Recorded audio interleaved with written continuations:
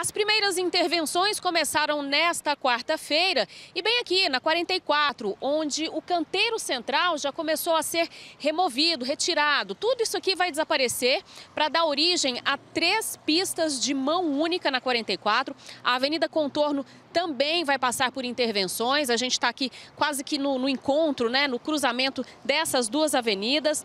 A Contorno também vai ter mão única com duas pistas. Isso vai é, facilitar ainda mais o fluxo de quem vem aqui para a região da 44.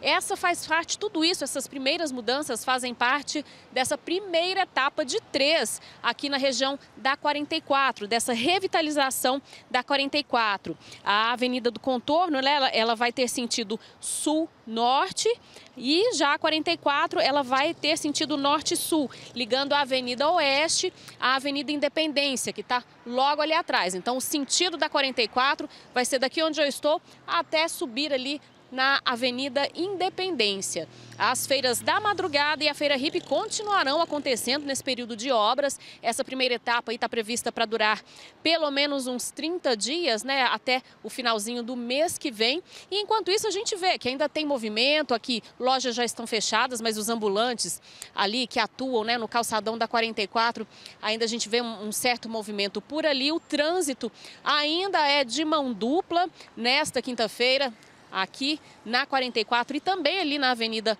contorno. E aos pouquinhos, né, a SMT vai sinalizando, a gente vê aqui, ó, que nessa parte onde o canteiro central já começou, né, a ser retirado, árvores é, que estavam aqui também começam a ser retiradas, já tem essa sinalização. E é muita paciência, muita cautela para quem não tem como desviar aqui da região.